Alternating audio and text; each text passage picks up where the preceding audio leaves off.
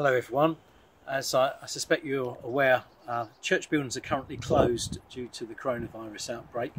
But we're trying to continue to be church, but be church wherever we find ourselves, uh, which at the moment is within our own home. So I'm here at the rectory and uh, want to assure you that we are all well and I hope that you're well too. You hopefully have had an email from us and uh, a phone call as well.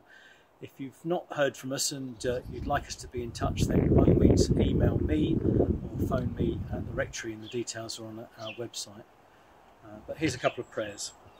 Let's pray.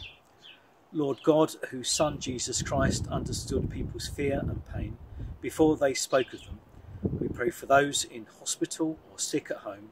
Surround the frightened with your tenderness. Give strength to those in pain. Hold the weak in your arms of love and give hope and patience to those who are recovering. We ask this through Jesus Christ our Lord. Amen.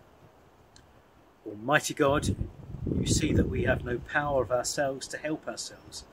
Keep us both outwardly in our bodies and inwardly in our souls, that we may be defended from all adversities which may happen to the body and from all evil thoughts which may assault and hurt the soul. Jesus Christ our Lord. Amen.